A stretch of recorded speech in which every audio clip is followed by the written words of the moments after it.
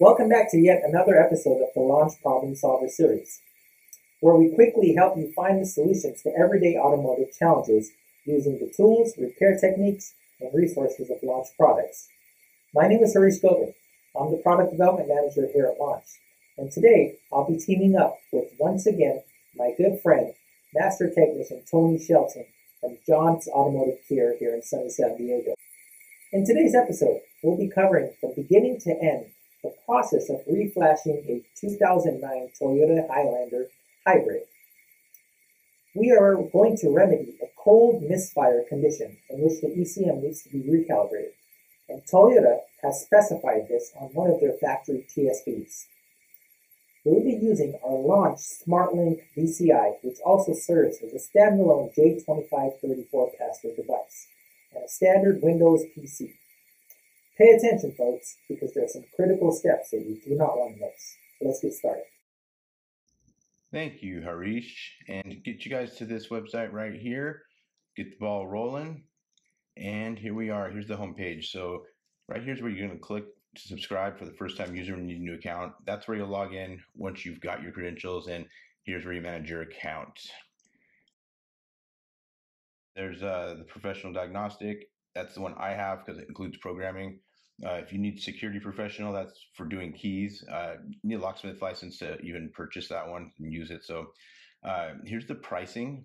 Here's what it costs to do two day, monthly, yearly, uh, however it is you want to break it up. If you're not doing very much of it, you would probably want to do it just two days at a time. Uh, that, that's how we do it right now. Um, there's some samples down here. I looked at them earlier. There's a, there's actually a lot of really good information around this website. Um, there's some really good uh, guides and tutorials and uh, quick start guides, stuff to really get you up and running pretty quick. So once you're all logged in, here's the TechStream page, home page. Uh, this is where you'll get your updates. You'll get your full install. Uh, it has all the system requirements and stuff on here that you may need. You want to make sure that you have a dedicated PC for this. You want to make sure your antivirus is turned off.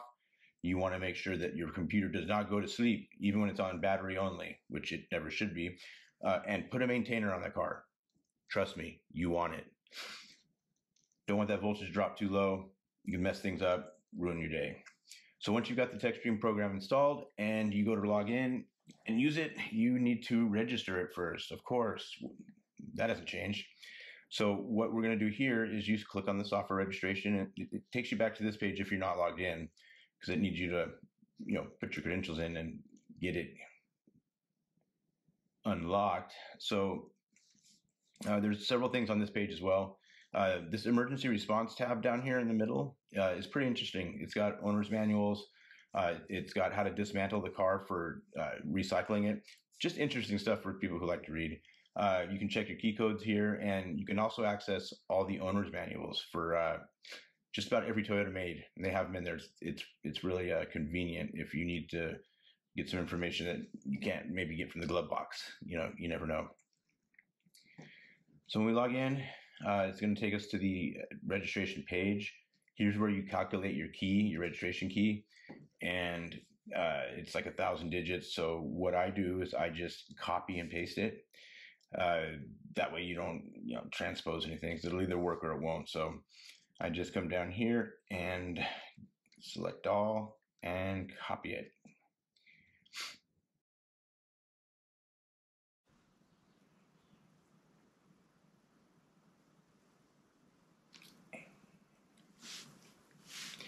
And obviously goes right where it says new key. Uh, the current key is usually displayed right above it, but this was the first time this software had been registered, so it didn't have a previous key.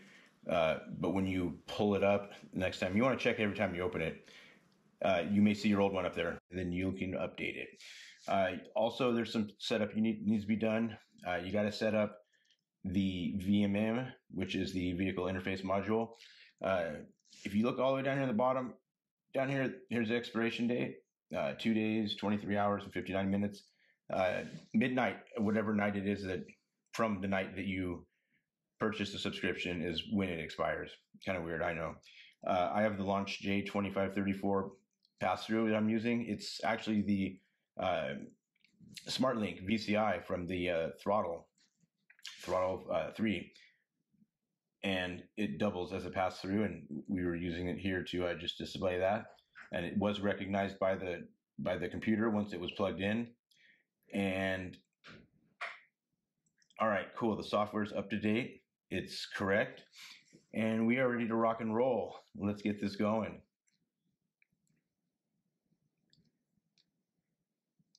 I set up a user account, uh, a pro- profile basically. Uh, what it does is it saves it saves all your preferences.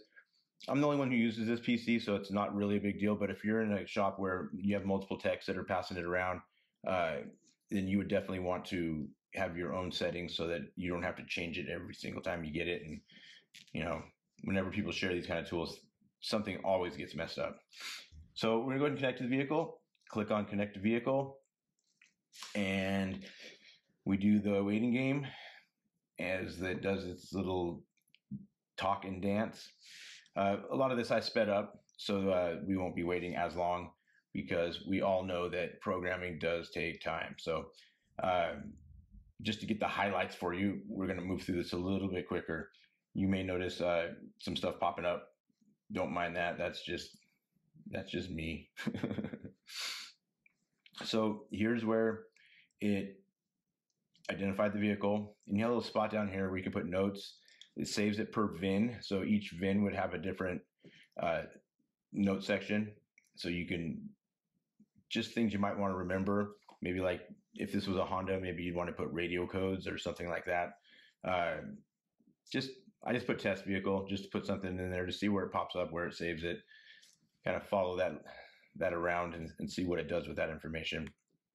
So now it's still doing the vehicle communication and it will be wrapped up here in just a, moment so we can move on to the next step. You can do a lot of stuff on this on the site. You can do uh, user uh, accommodations like tire size. Uh, you can modify the thresholds for the tire pressures, Much cool stuff. So here's your selection menu. The first thing we're going to do is we're going to run a health check. Uh, it's kind of like an all system scan on any other type of scan tool. Uh, and what it's going to do is it's going to ping all the modules in there that it does or does not have. And it'll come back with a report, which ones have codes, and most importantly, which ones have updates and calibrations that can be done, because that's what we're here today for. And you can kind of customize what it looks for, uh, just shorten the length of time that it takes if you know exactly what it is that you're trying to pull out of the, the computer. So, you know, I made a couple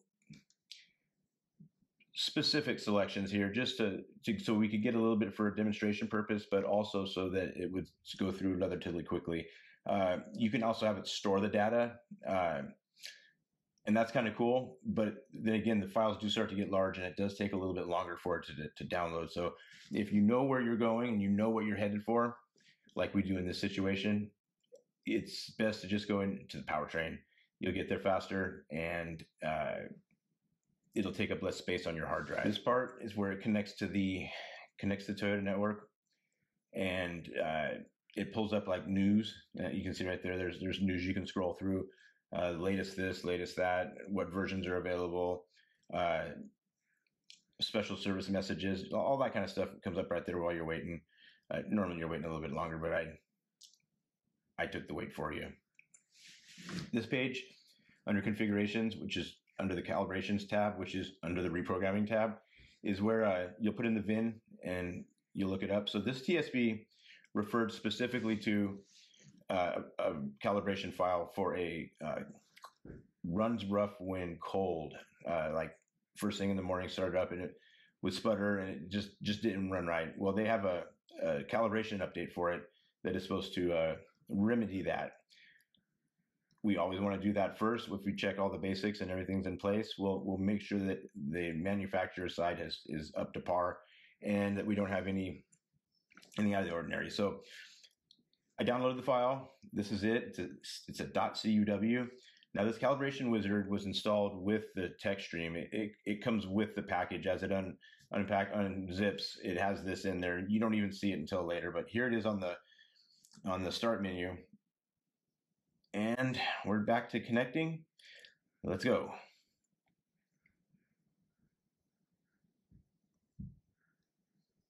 Previously, we did the health check, we did uh, the calibration check, and now looking at the car, it gives us the current California Cal ID and then the uh, new Cal ID. And as you can see, there is some changes. So that's uh, kind of giving you a heads up of what will change. You'll get another copy of that at the end, uh, one you can print. It's kind of nice in case you want to put it in with the invoice or store it with the customer's files, or even give a copy of it to the customer because you know they could they could use it if they go to another shop for some reason. All right, here we go with the good old key on, key off program. So uh, you want to make sure all the accessories are off, headlights are off, radios off, heat seat heaters are off, all that kind of stuff. Just be wise about it. Make sure the maintainer's on there, and uh, just follow the directions. It gets kind of monotonous, but computers can take their time, as we can see here. So let's go.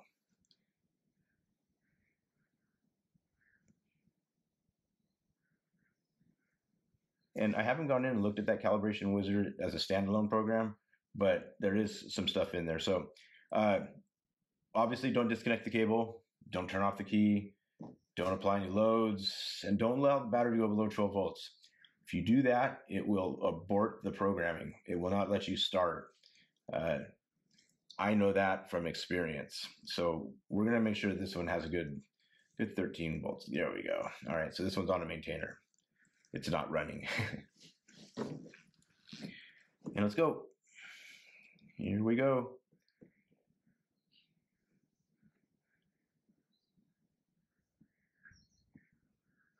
Wow, that was one fast flash. That was the quickest six minutes I've ever seen. Yeah, that's that, I didn't do that. That is what Toyota does. Kind of crazy, huh? I, I thought it was a little out of the ordinary, but hey, it lets you know from across the shop that you're done. So you turn the key off, go ahead and let it power down. Uh, it's going to read read it again, and it's going to give you that same little thing. It says it's successful. You can turn the key off, uh, and then here's the programming port. You can print that out and give it to your customer. Well, there you have it.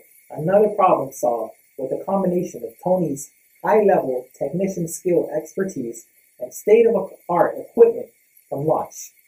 We did the best we could to show you every step, including the setup of the PC and the functionality of installing the Toyota OEM software. This is a very critical step. A lot of people do not show this step in their videos. We hope it was beneficial, and you'll be back to join us for another episode of the Launch Problem Solver series. For more information, visit us at www.launchtechusa.com.